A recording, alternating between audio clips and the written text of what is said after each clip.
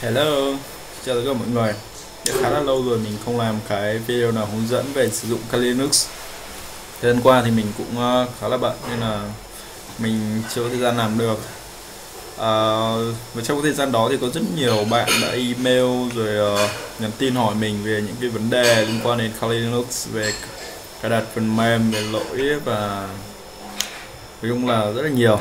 Mình có thể show cho bạn xem cái email của mình đây mình search về ờ, uh, keyword là Kali Linux thì Kali thì rất là nhiều bạn hỏi mình.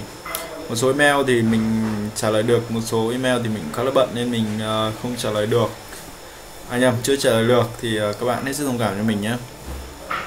À, và để tiện cho cái việc mà các bạn thắc mắc các vấn đề liên quan đến uh, Kali Linux và để có một cái môi trường để các bạn có thể trao đổi với nhau vì à, thật thực sự thì những cái vấn đề bạn hỏi thì có rất nhiều các bạn cũng biết rồi và một số bạn thì sau khi hỏi mình thì bạn đã sửa lỗi được thì mình đã tạo ra một cái à, group trên Facebook là giải đáp thắc mắc Linux. Và lát nữa mình sẽ để cái à, link group này bên dưới cái video để các bạn sẽ tiện để các bạn có thể join vào và các bạn có thể thảo luận với nhau và có thể đặt những câu hỏi liên quan đến uh, vấn đề về Linux về sử dụng cũng như là các cái ờ, công cụ kiểm bảo mật.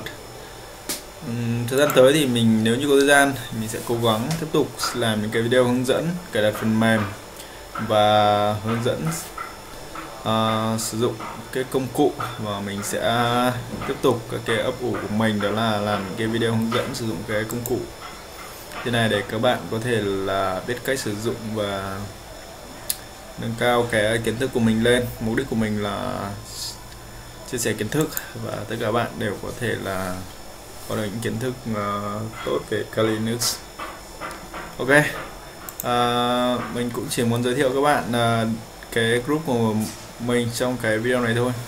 Và mình đã tạo một cái uh, fanpage nhưng mà tuy nhiên thì uh, uh, rất là ít hoạt động.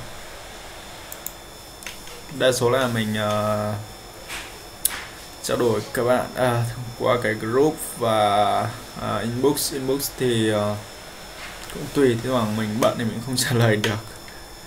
À, các bạn à, có thể join vào cái group để à, tiện theo dõi và